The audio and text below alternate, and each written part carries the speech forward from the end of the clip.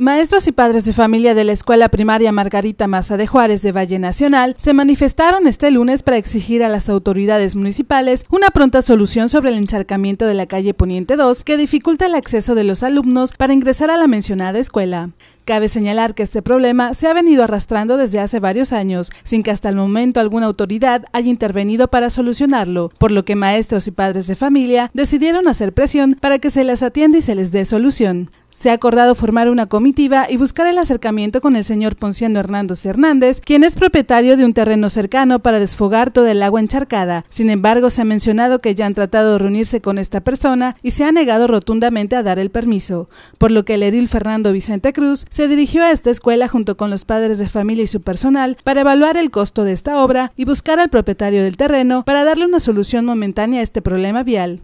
Con imágenes e información de Alejandro Morales, reportó Claudia Ortega.